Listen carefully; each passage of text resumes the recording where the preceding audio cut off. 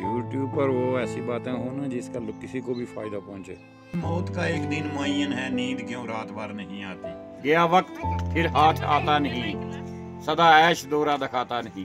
दादा ने जो बात बोली ना मेरे दिल को सुकून आ गया। If health is lost, nothing is lost. If wealth is lost,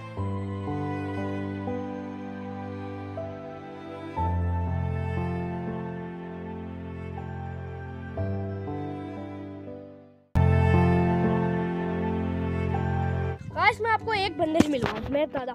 हम दादा के पास चलते हैं, दादा के पास व्लॉग बनाएँगे, वहाँ भी आपको सारी सारी चीज़ें बनाएँगे। वह भी बीमार है। मेरे दादा भी बीमार है।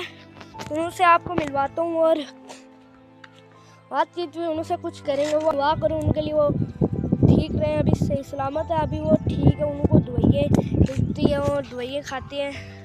महीने में एक बार कम से कम चल जाते हैं जम्मू या कश्मीर चल जाते हैं दवाइयाँ लेने।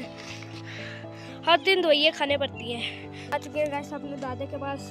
हम्म, क्या कुछ और बन रहा है? यहाँ पे व्लॉग बन रहे हैं। क्या?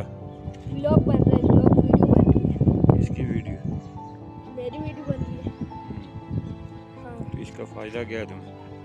कुछ नहीं बस यूट्यूब पे चलाना और क्या है बस। ऐसे बनाते हैं। यूट्यूब पर वो ऐसी बातें हो ना जिसका किसी को भी फ़ायदा पहुँचे। वे देखने वाला जो है उसके वो कुछ ना कुछ उसको फ़ायदा मिले। हाँ बात तो सही कर रहे हो आप। हाँ सही है सही बातें दादा ने बहुत अच्छी बातें बोली हैं तो गाइस हम दादा ने जो बात बोली ना मेरे दिल को सुकून आ गया। बहुत अच्छी बात बोली। जो वीडियो देखे फ़ायदा हो जाए कुछ। हाँ। सो हेलो गाइस हम आज के न्यू व्लॉग में। गाइस आज मैं आपको अपनी फैमिली से मिलवाऊँगा। कुछ दादा के साथ बातें भी करेंगे, वो बहुत बीमार है। और गाइस अभी आप देख सकते हैं व्यू बहुत प्यारा है। अभी एक चीज़ बताऊँ आपको, सात बज के नौ मिनट हो चुके हैं। व्यू आप देख सकते हैं गाइस ये हमारा घर, मेरे दादा वहाँ पे बैठे हुए हैं। मेरी बहन भी है। और गाइस ये मेरी साइकिल अरे, ये क्या? कोई आ रहा ही नहीं मेरे पास?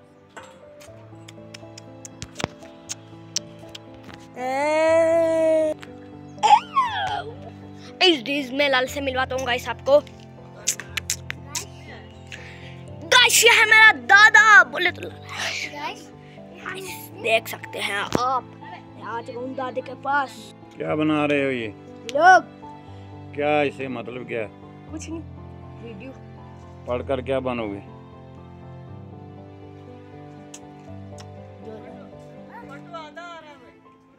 जो क्या हो? ये दुनिया, ये मुसाफर खाना, इसे लुटे कहीं व्यापारी। ये दुनिया जो है, ये आखरत की सेती है। इसमें जो नए काम करेगा, अच्छे काम करेगा, वो आगे जन्नत में जाएगा। अल्लाह के पास उसका मकाम होगा। जो नए काम नहीं करेगा, जो मेहनत नहीं करेगा तो वो दुनिया में बड़ा जलील पार हो जाएगा। ये दुनिया मुसाफर खाना है लुटे कहीं व्यापारी। जब मैं इस वक्त रिटायर हेडमास्टर हूँ सरपंच हूँ मुखिया हूँ गाँव का लेकिन फिर भी मैं अपने आप को कुछ नहीं समझता हूँ। अपनी ज़िंदगी में बड़ी मेहनत की है माँ बाप की दवाएँ ली हैं उनकी दवाओं की बदौलत अब मेरी एज जो है इस वक्त अस्सी साल हो गई है। तो गुर्दे की मर्ज में मुबतला हूँ। तो अपनी तरफ़ से बड़ी कोशिश कर रहा हूँ। ये है कि काफ़ी आवाज़ भी किया है श्रीनगर भी जम्मू भी। लेकिन मौत का एक दिन मुन है, नींद क्यों रात भर नहीं आती? आगे आती थी, हाल दिल पे हँसी, अब किसी बात पर नहीं आती। सर मुझे तो दुख रहेगा, ये छोटे जो आप बच्चे हैं, आप अगर पढ़ेंगे, इस मोबाइल के पीछे नहीं भागेंगे तो आप भी इसी तरह, मेरी तरह बाइज्जत, बावकार, बड़ी तालीम हासिल करके आप फौज में भर्ती हो जाएँगे। आप बड़े बड़े उहदों पर एस बनेंगे, डीसी बनेंगे, और अच्छा जहन जो है वो चलेगा। गंदे लड़कों का साथ नहीं करेंगे। तो बाकी ये है कि अपने माँ बाप की सेवा करोगे। तो यही कुछ है, क्योंकि ये दुनिया जो है, ये आखिरत की सेती है यहाँ पर। तो जो दुनिया में नेक आदमी काम करेगा, वो आखिरत में वो काम आएँगे। तो बच्चों को भी चाहिए कि माँ बाप के लिए दुआ करें। कि अल्लाह ताला मुझे सेहत मतलब है दे दे और हम ठीक ठाक आप जब जवान हो जाएँ तो हम आपको देखते रहें। पढ़ाई में काबिलियत आपकी देखते रहें, यही हमारी दुआ है। अल्लाह ताला पूरे कुंबे पर, बरदरी पर फजल, करम और रहमत की नज़र अता फरमाए। और ये जो दुनियादारी है, इसके पीछे ना जाएँ, आपस में इतफाक रखें। टेढ़ी नैसी से कर्ज। जो लालच होता है ना, ये बहुत बुरी बात होती है। बस यही करते जाओ कि अंध को बसियारे तेज तर्क गामजन, मंजिल मादूर ने अंध को मन नाकाए सियारे मन तेज तर्क गामजन, मंजिल मादूर ने जब मेहनत करोगे तो मंजिल जो है आदमी पा लेगा, और अल्लाह के साथ जाकर इंसान मिलेगा, वहाँ अमल सही होने चाहिए। जब इस दुनिया से आदमी जाता है तो उसके अगर अमल सही होंगे तो वो जंतु का सैल करेगा, माँ बाप को भी मिलेगा, सबको मिलेगा।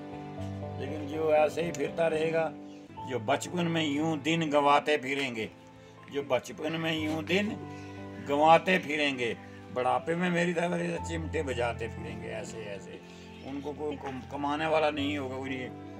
माँ बाप कहाँ देते हैं वो? किकमल लगा कर बाहर भेज देते हैं, जाओ भागो जैसे कमा कर लाओ, बीवी को खिलाओ।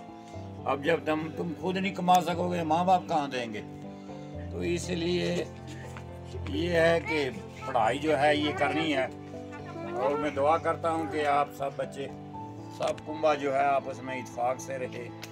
कोई लालच वगैरह नहीं करनी है। मेरी यही दुआ है कि ये ये जो, ये ये जो जन्नत जन्नत की जगह है ये ये गुलमर्ग है किस्म का हमारे ये जो हवा ताज़ा हवा ताज़ा दम ये अल्लाह की मेहरबानी से ये हवा यहाँ ठंडी ठंडी ठंडी हवा लोग पक पंखों में लोग गुजारा करते हैं गर्मी से मर तड़पते हैं लेकिन आपको माँ बाप की दुआओं से यहाँ ठंडी जगह है फ़र्स्ट क्लास मकान भी हो गए सब भी हो गया।